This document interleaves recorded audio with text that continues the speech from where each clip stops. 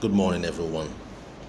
Welcome to today's Monday morning mentorship with Honorable Ike Nwachukwu, CEO AhiaOwerri.com. Today, I have two special messages that I want to share with my members. So touching, so inspiring. I want you to listen to every single word of what these two people have to say.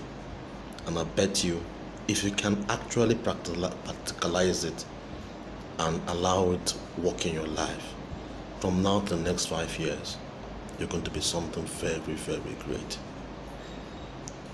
Calm down and listen to these two very inspiring videos.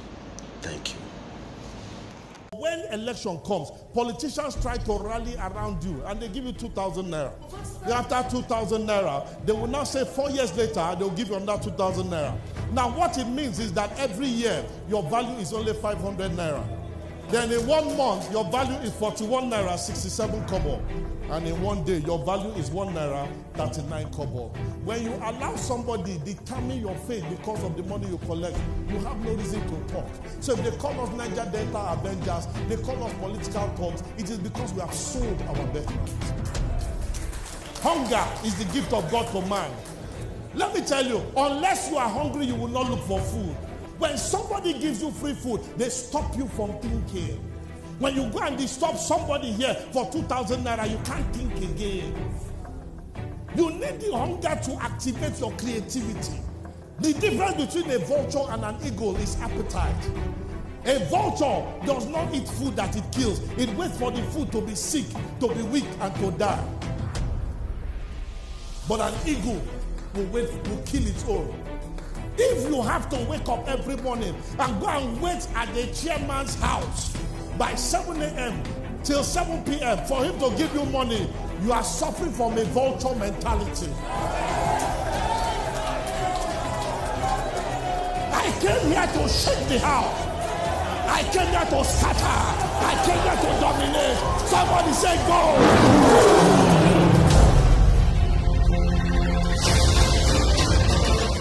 I never let people to call me a single mom by my title. I'm Lisa Nichols, who happens to be a single mother. Don't define me by my circumstances. Define me by my intention. But my biggest accomplishment is being willing to give myself a thousand second chances. And every time I got to 999, I pressed reset. I went to the same conference 42 times. And there I raised $532,000 in capital for my company start my dream. And my dream was to transform teen lives. I got fired from five different jobs. I was broke and I was broken. Yeah. And then I got pregnant with my son unexpectedly. And then at eight months, my son's father went to prison. I went to the ATM to get $20 out the bank because I didn't have any Pampers for him. And in order to get $20 out, you got that $20 in. I had $11.42. For two days, I had to wrap my son in, in a towel. And I have my hand on his stomach saying, Don't you worry, Jelani. Mommy will never be this broke again. And I looked at that baby at eight months and I said, I want to transform your life. Because you didn't ask to come into this chaos. Come on. As an African American male child in South Central Los Angeles, with a single mother whose father's in prison, he had a 66% chance of going to prison himself. Not on my watch. Mm. Not on my watch. So if I have to be willing to drastically transform myself so that I can become the woman that I know I can be. I was bankrupt and trying to not ask anyone for help. I was bankrupt in everything that was holding me and keeping me where I was. I've always talked a good game, but I wasn't doing anything with my gift. And all that thing about potential, I was tired of having potential. I wanted to have my now. My grandmother said that conviction and comfort don't live in the same block. Mm.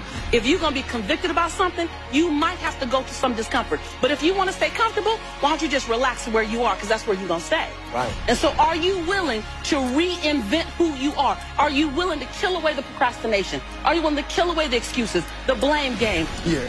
I didn't ask permission. I gave notice. At some point, I have to stop asking, can I be great? Can I be brilliant? Can I be okay and still be accepted? I just stop asking permission and just gave notice unapologetically, not in a braggadocious way.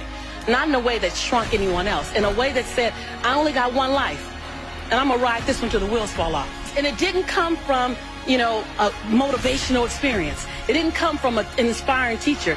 It came from hitting rock bottom. And that was the beginning of me rescuing myself. I realized that I am my rescue. No one else is my rescue. Mm. I am my rescue.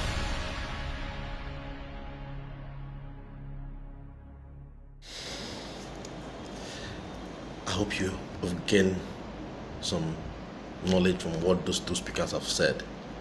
Please, I beg you to particularize every single word they have said. It's very, very serious. Very, very serious. From now to the next five years, put it in your life and see what you will be in the next five years. I guarantee you serious, massive success.